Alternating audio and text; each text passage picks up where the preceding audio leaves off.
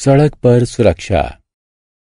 जब हम यातायात के नियमों की अनदेखी करते हैं तो दुर्घटनाएँ होती हैं।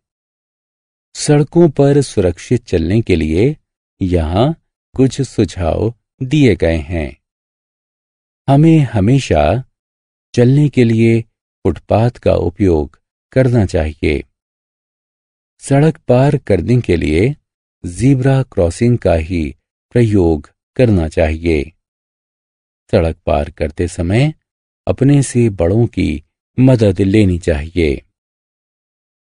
सड़क पार करते समय सबसे पहले दाईं ओर, उसके बाद बाईं ओर और फिर दोबारा से दाईं ओर देखकर ही सड़क पार करनी चाहिए।